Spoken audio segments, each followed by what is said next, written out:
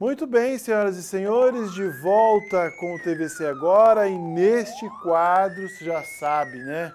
É a ronda policial, pulseira de prata. Eu falei quadrilha, podia ser quadrilha de festa junina, né? Mas não, é bandidagem, bandidagem mesmo.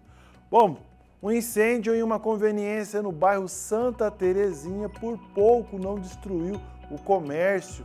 O fato aconteceu na madrugada desta segunda-feira. O Alfredo Neto já está aqui comigo ao vivo e traz para nós aí as informações. Alfredo.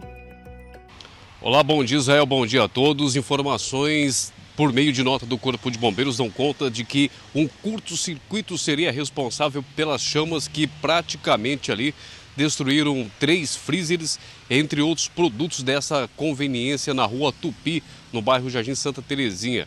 De acordo com a nota da Assessoria de Comunicação do 5 GBM, o grupamento de bombeiros militares, o fogo teria se iniciado após um curto-circuito e rapidamente passado para a parte elétrica do local, aonde acabou se alastrando, derrubando o forro de PVC e posteriormente danificando alguns freezers que estavam ali nesse comércio, aonde mantinha refrigerantes e bebidas alcoólicas e também atingindo algumas caixas, algumas caixas com vasilhames de bebidas alcoólicas e refrigerantes.